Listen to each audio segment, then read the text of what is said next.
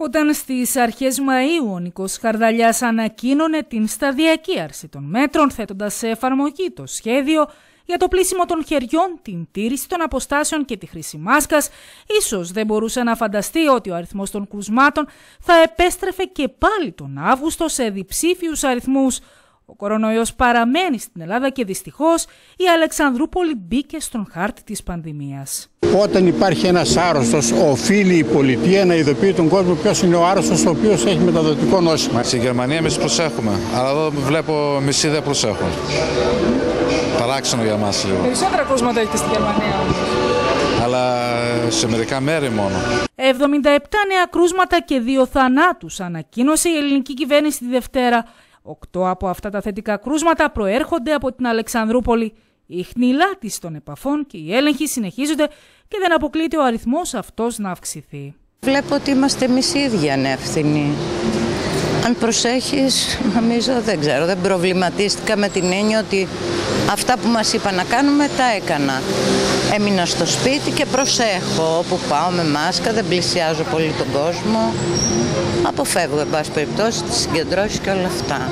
Όταν αρχίζει να διασπείρεται έτσι ανώνυμα μέσα στον ε, τοπικό πληθυσμό, ναι, είναι κάτι ενισχυτικό. Εσείς προσέχετε από την πλευρά σας; Όσο μπορούμε προσέχουμε, όσο μπορούμε φοράμε τη μάσκα, όσο μπορούμε δεν πάμε σε μεγάλες συναθρήσεις. Την ανησυχία των πολιτών και την κινητοποίηση των αρχών έχουν προκαλέσει τα επιβεβαιμένα κρούσματα στην Αλεξανδρούπολη μετά την τελετή του γάμου. Η Αντιπεριφέρεια Εύρου βρίσκεται σε επικοινωνία με την πολιτική προστασία αλλά και τον Εθνικό Οργανισμό Δημόσιας Υγείας για το ενδεχόμενο λήψης νέων μέτρων. Μετά την επιβεβαίωση κρουσμάτων κορονοϊού στην Αλεξανδρούπολη έχουμε διαρκή επικοινωνία τόσο με την πολιτική προστασία όσο και με τον ΕΟΔΗ προκειμένου να λαμβάνονται επιπλέον μέτρα, αυστηρότατα μέτρα για να μπορέσουμε να αντιμετωπίσουμε τυχόν αύξηση αυτών των κρουσμάτων.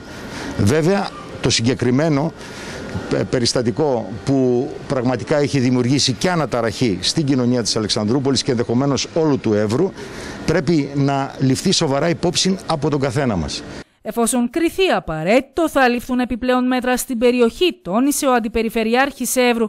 Πλην όμως κάλεσε τους πολίτες να επιδείξουν υπευθυνότητα και να τηρήσουν τα μέτρα ασφαλείας όλη αυτή η εξέλιξη για να είναι θετική θα πρέπει να συνδυάζεται απόλυτα με την ατομική ευθύνη του καθενός η οποία επαναλαμβάνω είναι και συλλογική ευθύνη απέναντι στον πλησίον μας. Η χνηλάτιση συνεχίζεται. Αν κριθεί αναγκαίο η επιπλέον ε, ενίσχυση των μέτρων αυτό θα γίνει πάντα σε συνεργασία με τον ΕΟΔΗ. Όλα τα ενδεχόμενα είναι ανοιχτά.